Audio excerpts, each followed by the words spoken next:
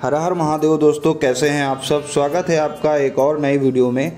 दोस्तों, आज हूँ मैं रामेश्वरम धाम में, जो कि बारह ज्योतिर्लिंगों में से एक है और चार धामों में से भी एक धाम है।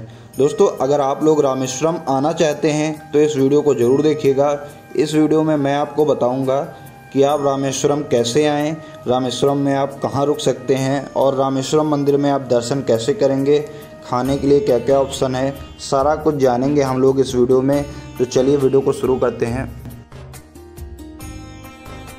दोस्तों, सबसे पहले जान लेते हैं कि रामेश्वरम कैसे आए।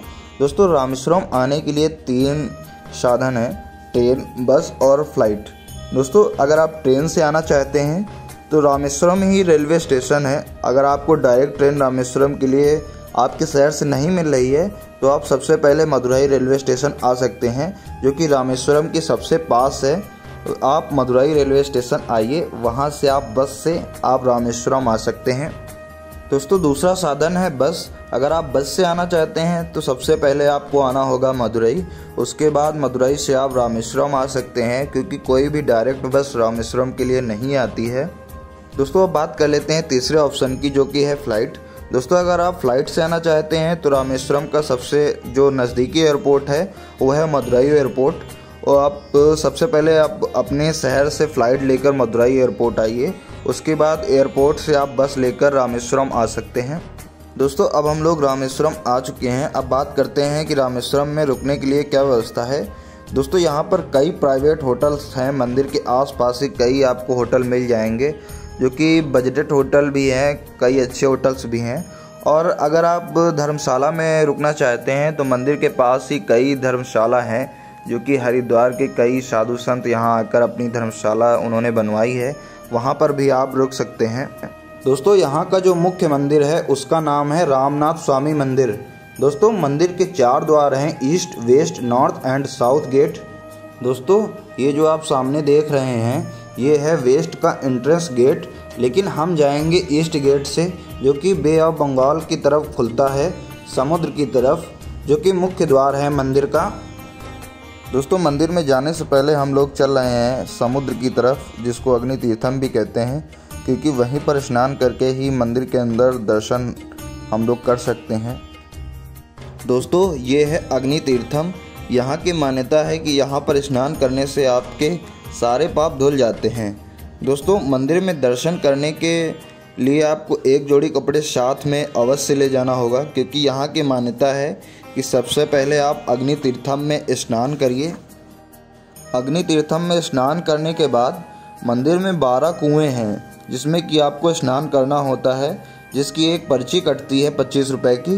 वो चाहे आप यहीं से कई साधु लोग खड़े रहते हैं, वहाँ से कटा सकते हैं। नहीं तो आप मंदिर में अंदर जाके वहाँ से आप पर्ची कटा लीजिए।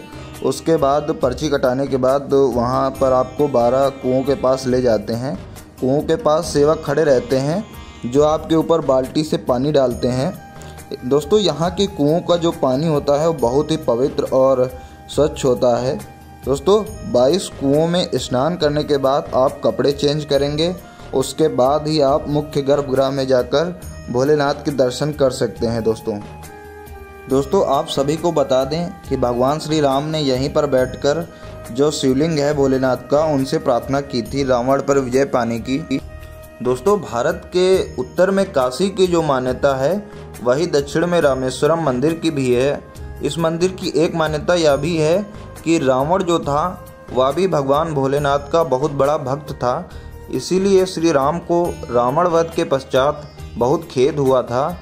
ब्रह्म हत्या के पाप के प्रायश्चित के लिए भगवान राम ने अग्नि तीर्थम में स्नान किया था। उसके बाद उन्होंने शिवलिंग की पूजा भी की थी।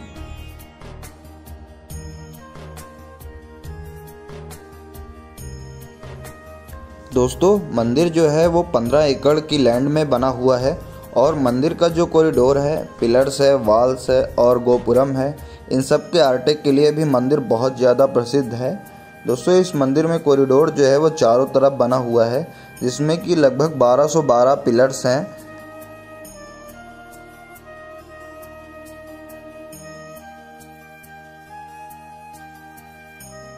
दोस्तों, मंदिर के अंदर वीडियोग्राफी और फोटोग्राफी अलाउ नहीं है तो हम आपको अंदर का नज़ारा नहीं दिखा पाएँगे। दोस्तों, मंदिर परिसर में दो शिवलिंग हैं, एक जो हनुमान जी कैलाश पर्वत से लेकर आए थे और दूसरा जो सीता माता ने रेत से बनाया था, दोस्तों, जो भारत का सबसे बड़ा कॉरिडोर है, वो रामेश्वरम मंदिर का ही है। दोस्तों, इस वीडियो को हम यहीं समाप्त करते हैं। वीडियो अच्छी लगी हो तो वीडियो को लाइक करें शेयर करें और चैनल को सब्सक्राइब करना ना भूलें। मिलते हैं अगली वीडियो में। तब तक के लिए जय हिंद, जय भारत।